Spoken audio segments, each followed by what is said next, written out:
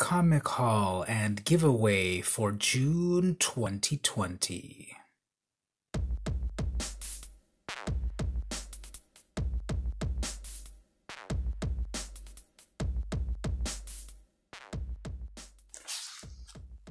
Hey everyone, it's VM Campos, comic book fan. Welcome to another episode of the weekly VM Campos Comic Book Club. It's another month, and that means it's another comic haul, which means there is a giveaway going on.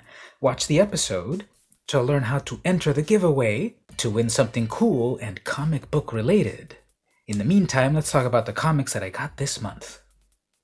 Hashtag back the comeback. Have you been going to your comic shops nowadays and getting the comics that you missed or new books? Here's what I got this month. Starting off with Marvel, I got Amazing Spider-Man number 42, Legacy number 843. I got the Spider-Woman variant. I love this cover. We have Jessica Drew Spider-Woman in her old costume. Actually, I'm not sure why they're not using her new modern one, but anyway, it's the it's the old classic one, the the red and yellow one. And then we got Spider-Man there as well, some birds in the background, uh, a cool like green tinted night with the moon. I like the pose, I like the position, her energy and everything, and the webs. I like this cover. So this is part two of a plot that's going on that's actually very sad about this like evil creature. But we get the backstory of the evil creature and we see that it might not be so evil after all. Or is it? You have to read the book to find out. Next up at Image, I got issue number one of Adventure Man. Now, the main reason that I got this was because of Rachel and Terry Dodson, the um, the inker and the and the penciler of this book. Yeah, I get Matt. I guess Matt Fraction's also a selling point. But look at this cover; it's amazing. It's a Dodson collaboration. Um, this is an interesting pastiche of like pulp superheroes Art Deco style, diesel punk style of, uh, of art. And it takes place in a fictional world of Adventure Man, but then with the main character in the real world. And um, like the first half of the book is really interesting. I won't give it away, I won't spoil it, but the first half of the book is like the fictionalized uh, account of things, and then the second half is like the real account of things. So um, enjoying this so far, and it's actually like really thick. I don't know if it's got more pages than usual or it's just like very very high quality paper and such. But the Dodsons, uh, Rachel and Terry Dodson, uh, a married couple, a married team of uh, creators, uh, they co-created uh, this with Matt Fraction over for Image Comics. So I'm enjoying the book so far.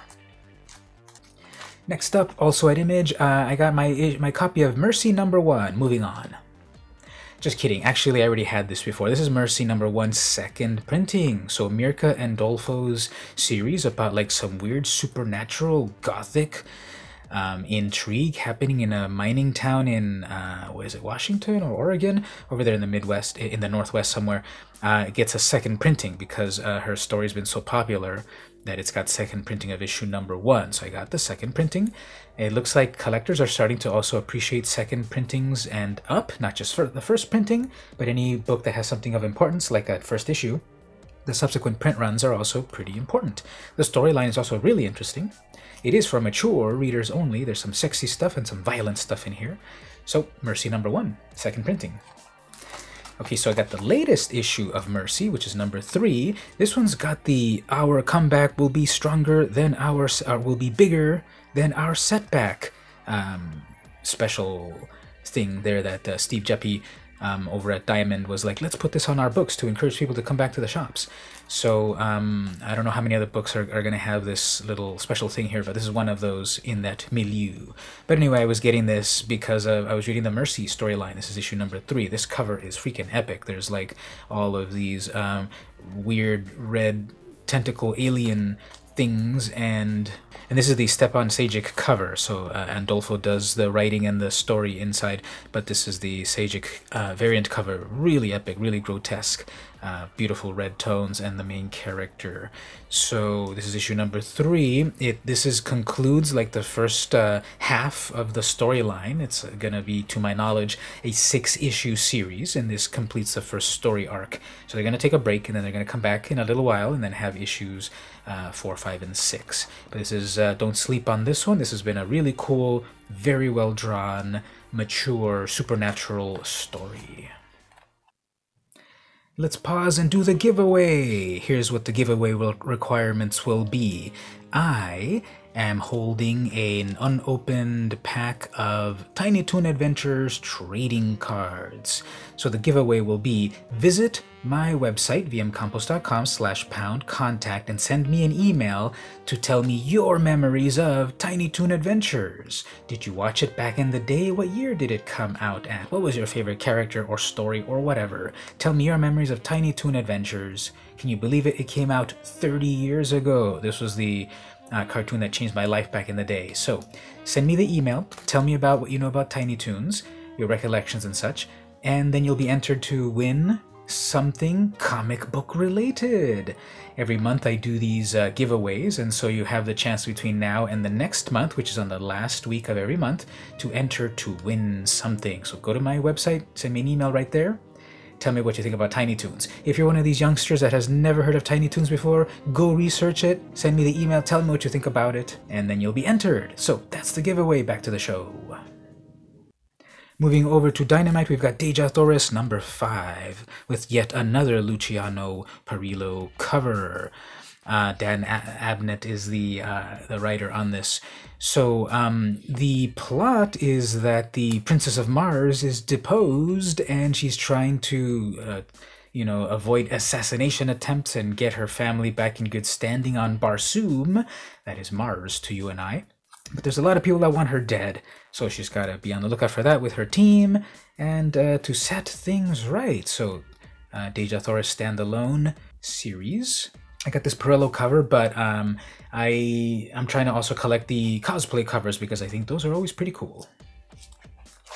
IDW has a brand new series. This is Sleeping Beauties number one. I got the variant cover B, Jen Woodall cover. So um, this is by Stephen King and Owen King. So uh, very high uh, pedigree right there. Basically, what this is about is um, some sort of mystery about a woman that emerges from the woods and starts killing.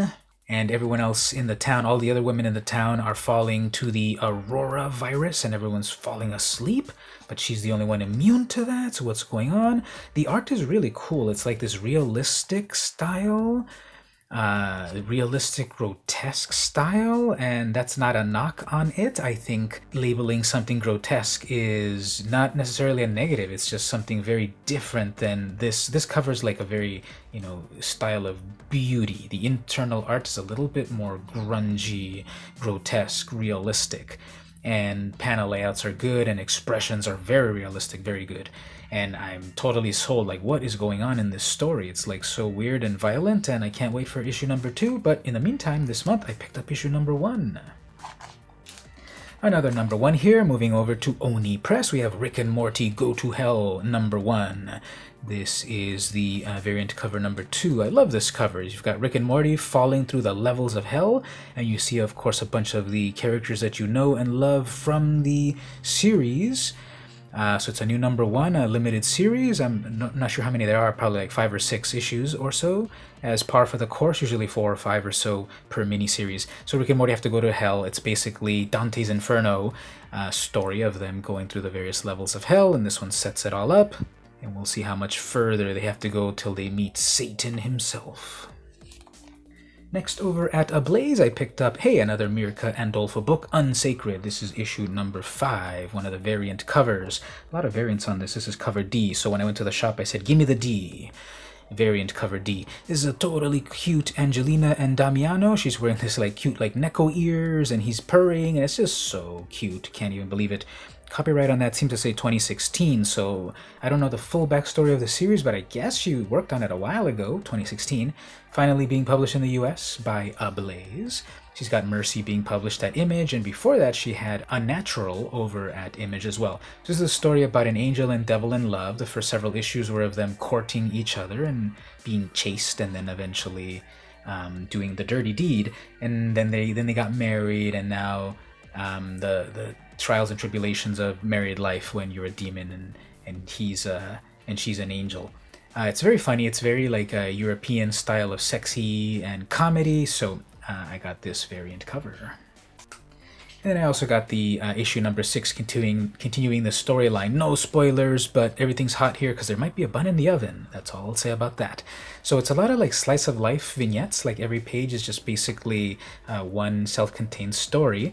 Uh, you can't really show too much of the interiors. It is rated mature. And the art is, is amazing. It's Andolfo written and uh, drawn by. Covers are often by different people. This one's not Andolfo. This one is cover B. Oh, there's the our comeback will be bigger. Um, so yeah, alternate variant cover. It reminds me like of the John Kricfalusi Spumco style, and it's a fun, sexy uh, comic book to check out if you're old enough. And one more. This is interesting. I've been meaning to get my hands on this finally. This is the Cimmerian, Queen of the Black Coast from Ablaze. This is Robert E. Howard's Savage Hero Uncensored. So this is public domain Conan stories because Marvel is currently publishing Conan. They published Conan stories in the 70s. Red Sonja debuted in Marvel Comics in the 70s. Then they lost the license for a while, and then I believe Dynamite was publishing Conan stories as well as Dark Horse. Dark Horse did Conan for a while. Dynamite did it too, but focused with Red Sonja instead. And then Marvel got Conan back, and now they're publishing Conan stuff. Well, uh, when stuff is public domain, that means many creative people can do their version of things without having to litigate it in the courts. So Ablaze is doing their version of Conan stories that are legally safe to do so. And here we have Belit, Queen of the Black Coast, issue number one. So uh, Conan ends up on Belit's uh, pirate ship and uh, very violent, very sexy. Now, uh, uncensored, it's not as uncensored as you think. Spoiler alert, you're not to see the, the whole thing full frontal or whatever, but it is uh, very sexy and very violent. That snake got chopped up really good. Um, but yeah, this is issue number one, one of the many variant covers that were out there. This is cover B, I like them all. Interior art is a different artist, I believe. Uh, hey, wait a minute. If I look at that, is that a Mirka Andolfo signature? Yeah, that's Mirka. I recognize it now. So that is Mirka Andolfo doing a variant cover for this. Well, she's on Ablaze as well, so that would make sense. So I got this, issue number one. So there you go. That was my comic book haul. Hashtag back the comeback of June 2020. Got a lot of books that I've been reading before. Got some new issue number ones to start to read some new stories, some classic ones that are always in my heart, and then some new ones, like I said, from some great creators that I enjoy. Once again, if you'd like to enter the giveaway, no purchase necessary, somewhere in the video I tell you how to enter the giveaway. Do so before the next comic call of next month on the final week, the final Wednesday of next month. Tell me what you thought about my comics. What am I missing? What do you want to read yourself? What should I be picking up? What did you pick up? Tell me all about it in the comments. If you head on over to my Patreon, patreon.com slash vmcampos, you can follow for free to be alerted to everything that I do regarding comic books. I've got my weekly top comic book picks live show you should become a part of. Check that out every Saturday, 11.30 a.m. Pacific time. I've got also my top lists, top 5 amazing things, top 10, whatever. Comic Con, cosplay videos, and the like. Get all of that for free on my Patreon. Consider going to the $1 tier to unlock the exclusive stuff, and at the $2 tier, I'll actually mail you some comics in appreciation for joining the VMC crew. If you can't pledge at the moment, no worries. Simply like, follow, subscribe, share, all that good stuff. It really helps. I really appreciate it. This has been the weekly VM Campos Comic Book Club, and I'll see you next week.